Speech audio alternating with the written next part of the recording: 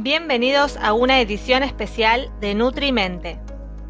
Hoy vamos a hablar sobre el cáncer, células en división desenfrenada. Cuando una célula de un organismo multicelular pierde la capacidad de regular el ciclo celular, puede reproducirse sin restricciones y se transforma en una célula cancerosa. Las células cancerosas difieren de sus contrapartes normales en varios aspectos. El más importante es que no detienen su división en respuesta a la presencia de células contiguas ni a la ausencia de factores de crecimiento. En los últimos años, diversas investigaciones pusieron en evidencia que un organismo sano genera numerosas células cancerosas que el sistema inmunitario encuentra y elimina durante su continuo patrullaje por el organismo. Sin embargo, algunas son capaces de escapar de su acción y proliferar, y así formar masas de células que se conocen como tumor. Si las células anormales permanecen en el tejido original y forman una masa compacta, en ciertos casos esta puede extraerse por completo y se dice que el tumor es benigno. Un tumor benigno puede pasar inadvertido durante toda la vida del individuo. Los tumores malignos, en cambio, invaden tejidos y órganos e impiden su funcionamiento normal. Si no se efectúa un tratamiento, esto puede llevar a la disfunción del órgano y, con frecuencia, a la muerte de la persona que padece la enfermedad. Las células malignas liberan señales químicas al medio que estimulan el crecimiento de vasos sanguíneos hacia el tumor, en un proceso denominado angiogénesis.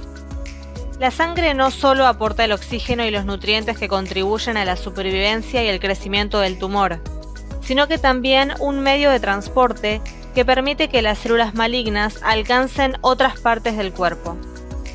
Las células tumorales llegan a los vasos gracias a otras características que las diferencian de las células normales.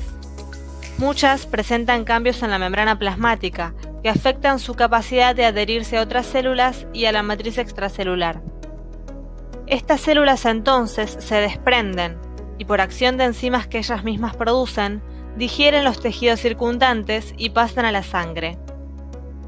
Una vez en el torrente sanguíneo, pueden invadir otras partes del cuerpo y proliferar y formar nuevos tumores.